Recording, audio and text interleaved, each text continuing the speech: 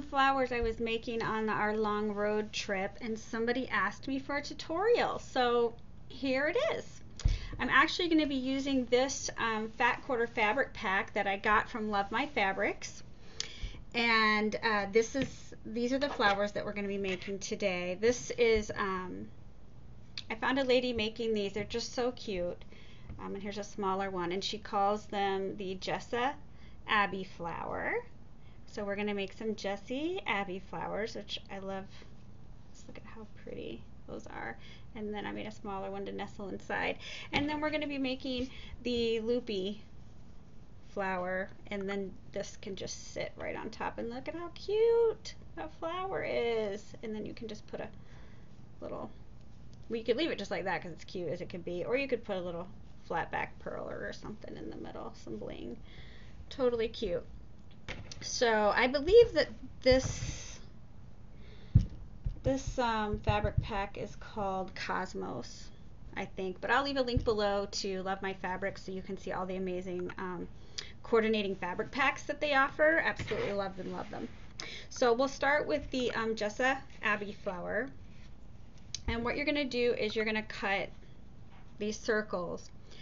I'm guessing this is about two inch, but here's the thing is I make flowers um, for relaxation. So none of them are uh, perfect. I'm not a big on measuring it out. I kind of just want to just do it. So I grabbed this candle to make the bottom for these for my favorite candle candle lady. So shameless plug for um, Mystic Oasis, my friend Kathy.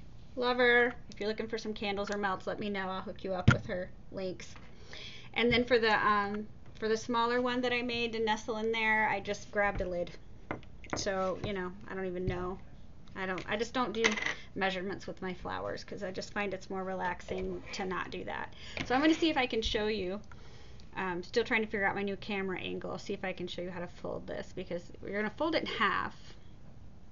Okay, and then you're going to kind of do like an accordion fold with this. You're going to fold one part up like that, making a little triangle. Okay, then you're going to fold this back. So it's kind of like an accordion fold to, to finish the triangle. Okay, so it looks like that. Really cute. And I've been using about eight petals on each of my Jessa Abbey flowers. So I'm going to put, um, I'm just going to thread this right through the tip, making sure I get all the layers. Okay, and then I'm just going to bring it on down. And then just make a pile of them. So I have a couple more to add. So I hope that I'm showing this correctly. Hope you can see it.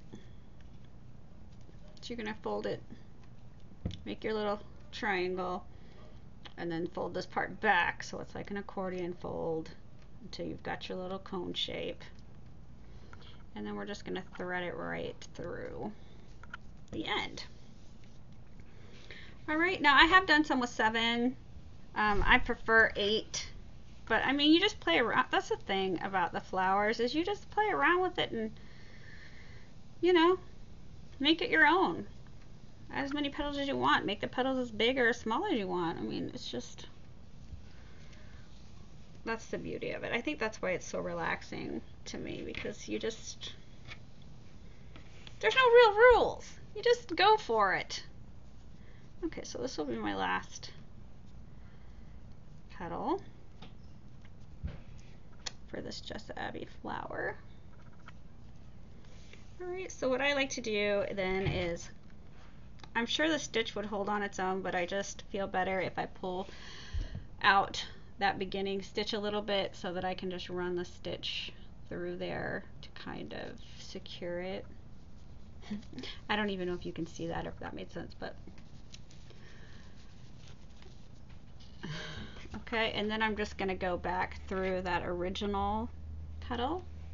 I'm going to go back through that original petal with the needle. And then I'm going to pull it I'm going to pull it tight to make my flower. You just move them around however you want. Look how cute. Look how cute that is. Alright, so I'm going to come back here to secure the stitch. It looks like one of them came unfolded.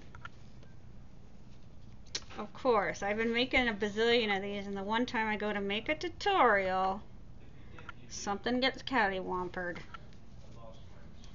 That's the way it goes. Alright, so I'm just going to pull that tight. Still try to make this work. Then I'm just going to make a, a knot in the back here. Like I feel like I need to move my camera down maybe so you can get a better view. I don't know. I'm working on it, ladies. I'm working on it. Okay. Pull, pull, pull. Alright, let me slip it off there so you can get a look at it. So, look at how cute it is. I mean, it's just, it's cute and it's fluffy.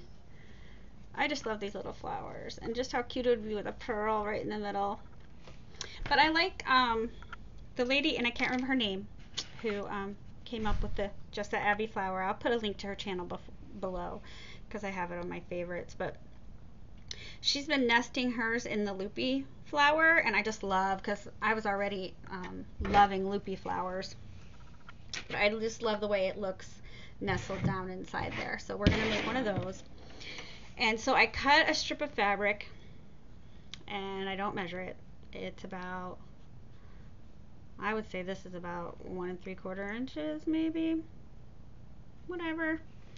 Yeah, I mean, really doesn't, you know, just depends on your preference. And then I fold it in half. And then I ran a running stitch, which I hope you can see. Let's see. I run a running stitch along that open edge all the way along without gathering it. Okay, and then uh, I just do it till my fabric runs out. So I don't even know. I don't. I don't even know how long that is. Let me get out my ruler. So it's a little more than a than a foot. It's probably about. I don't know. It's about 15 inches, but I mean, then again, it's up to you. And now I'm, I'm leaving the needle attached to the thread that's run through because we are going to gather this. But first we're going to cut it. We've got to make our little cuts.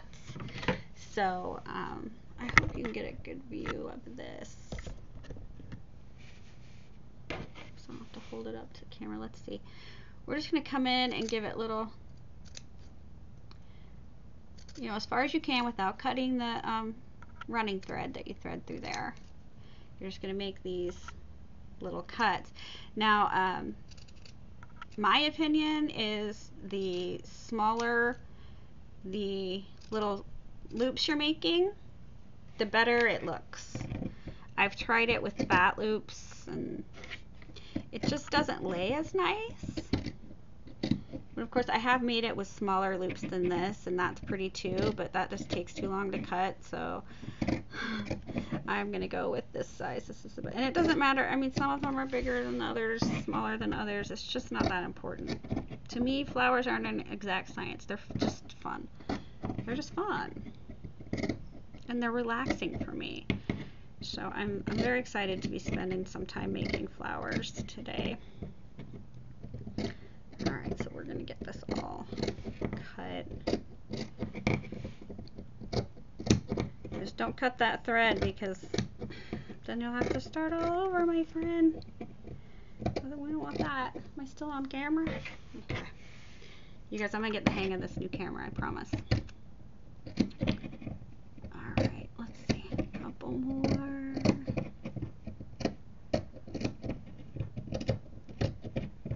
These are just so cute. And I think um, my first loopy flower tutorial, I'm pretty sure was on Tutu Amy's channel. Yeah, I think that's where I saw this. So let me, I get excited towards the end. Sometimes I start making them too fat because I get in a hurry. Let's not do that. Okay. All right. Now, whoops, I lost my feed. Sorry about that. Okay. Now I'm going to gather up these loops. So you've got all your loops cut. It's pretty, pretty, pretty. Right, now I'm going to gather them up by just pulling the needle and the thread and pushing down the fabric. And you can see it starts to gather. Sometimes it just makes a mess, but eventually you'll get there. You just keep pulling that fabric down. Keep pulling that fabric down. I'm trying to figure out where this, this, where's the, sh the shadow? Must be from the camera. Okay. So we're gonna just pull it, pull it, pull it.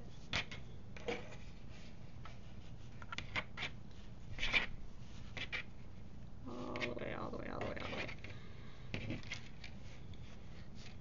Now, you gather it, you decide how big you want the bottom to be. And really that's going to depend on how big this is. Because you want this bottom to stick out. Like you don't want it to do like this one I made and they're almost exactly the same size.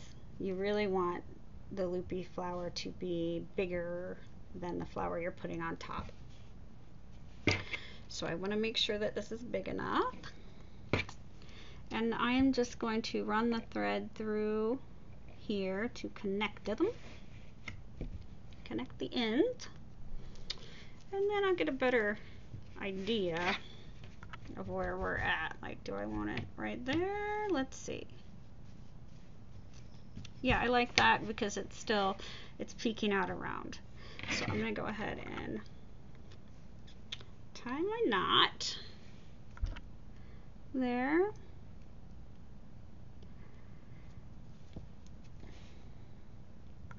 the thread.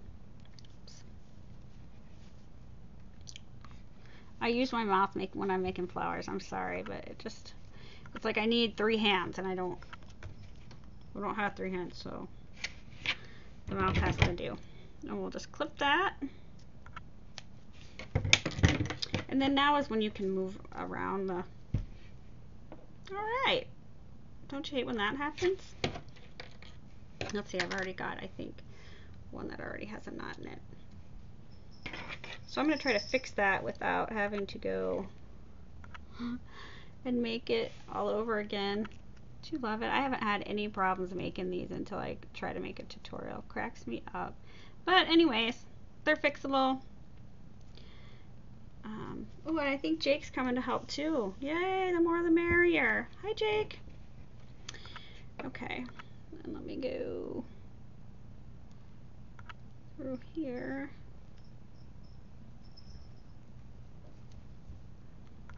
See if that will do. Mm, can't get it as taut as I want now. I can't move these over. I guess. All right, I'm gonna try to weave through these loops, I think, and draw that in a little bit more. It's just too loose. I don't like that.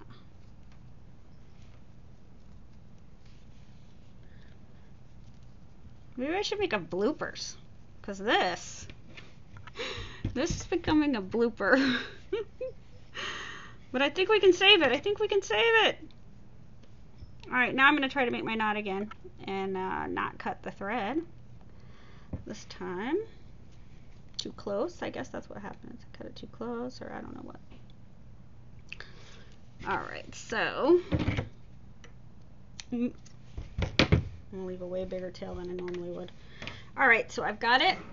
Yeah, it's a good size. I like that. Here. I like it looks better up. Alright, you don't have to worry about the mess in the middle. You're not going to see it. But see now the, um, so that's a loopy flower. And of course you can, if you pull that all the way where you don't even see a circle, it makes just a big fluffy flower. You know, it's not as flat. But I'm using it as a bottom layer, so I'm not worried about it being big and fluffy. Okay, but see then, I'm just going to glue that just right in there. And then you've got this just pretty, pretty flower. And then I love how these fluff up. I mean, you don't even have to put anything in the middle if you don't want to, but you certainly can. Like you can put a pearl right there and that would be cute. But there's, you know, there's a couple examples of the um, Jessa Abbey flower sn um, snuggled into the loopy flower and then this one is the the one I made this three layers and I just made the Jessa Abbey flower with smaller petals right? It's just cute. So I love these and again I'm sorry I'm still trying to get used to my camera angle. I'm gonna try to figure out how to get rid of this shadow over here but um, I hope you give these a try and that you enjoy making them as much as I do. So thanks for watching and I'll see you next time